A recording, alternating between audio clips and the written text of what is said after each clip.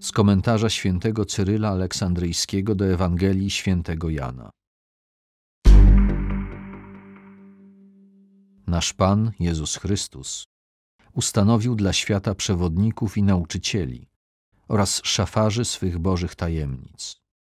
Polecił im świecić jak pochodnia i oświetlać nie tylko krainę żydowską, ale każdą inną, która znajduje się pod niebem, wszystkich ludzi mieszkających na całej ziemi.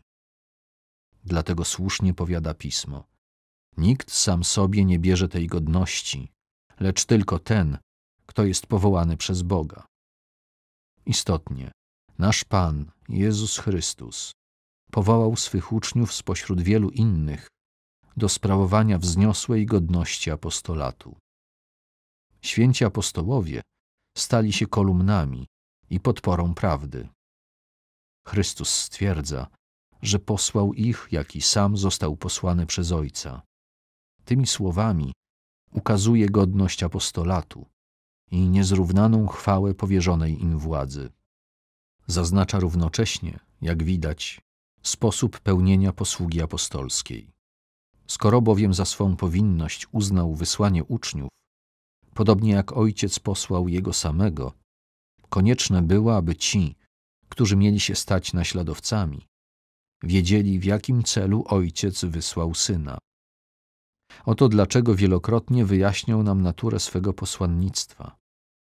Nie przyszedłem powołać sprawiedliwych, ale grzeszników. Kiedy indziej zaś zstąpiłem z nieba nie po to, aby pełnić swoją wolę, ale wolę tego, który mnie posłał.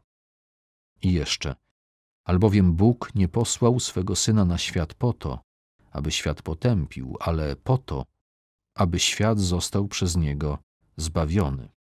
W kilku zatem słowach zamknął istotę apostolatu, mówiąc, że wysyła ich tak, jak Jego posłał Ojciec, aby wiedzieli, że ich zadaniem jest nawoływać grzeszników do nawrócenia, uzdrawiać chorych na ciele i na duszy, nie szukać w posługiwaniu swej woli, ale woli tego, który ich posłał, a wreszcie zbawiać świat, w miarę jak przyjmie naukę Chrystusa.